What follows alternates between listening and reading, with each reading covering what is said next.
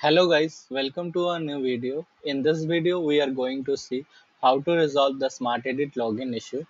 So what is happening whenever we are trying to log in with the admin credential or uh, any other Smart Edit user like CMS Manager or CMS Editor, uh, we are getting this error that bad client credentials.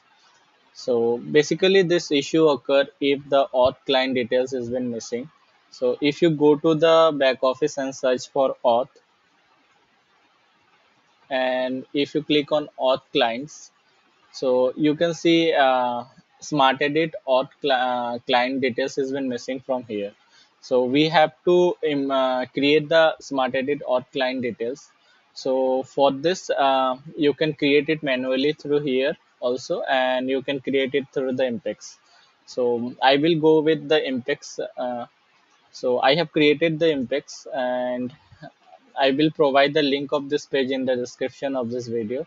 So after uh, uh, coming to this page, you have to copy this below Impex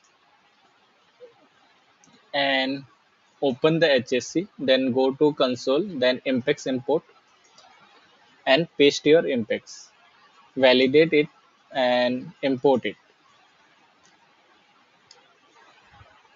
So our Impex has been imported successfully.